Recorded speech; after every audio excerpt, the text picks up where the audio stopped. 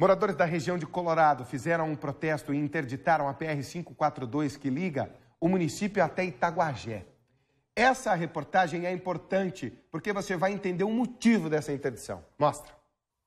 Na estrada, onde quase não se anda por causa dos buracos, o trânsito parou de vez. O protesto foi um alerta para mostrar como está a PR-542 entre Colorado e Itaguajé. A gente não tem como nos locomover para os grandes centros, que é Maringá, Londrina.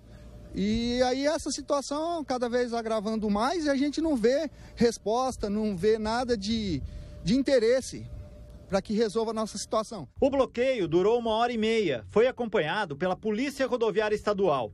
Foi organizado por moradores da região, que só veem a viagem ficar mais perigosa por causa da falta de conservação das pistas. Só ambulâncias e caminhões com cargas vivas puderam passar.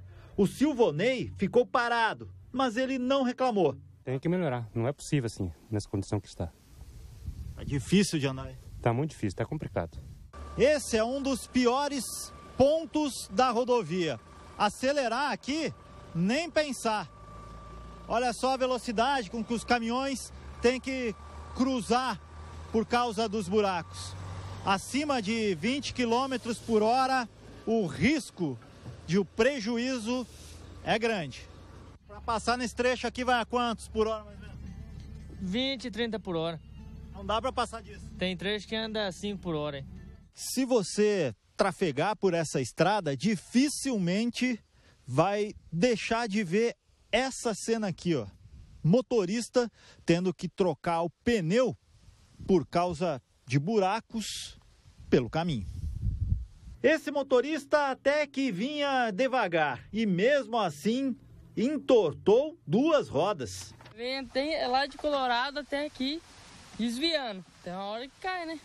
São 25 quilômetros em que o motorista dirige para lá e para cá, desviando dos buracos, desviando do abandono que se transformou essa rodovia do Paraná o tanto de imposto que a gente paga, que eu, eu, eu trabalho com caminhão, eu já não aguento mais manter meu caminhão. Falar bem a verdade para você. De tanto imposto que eu estou pagando e não tenho rodovia para me trafegar.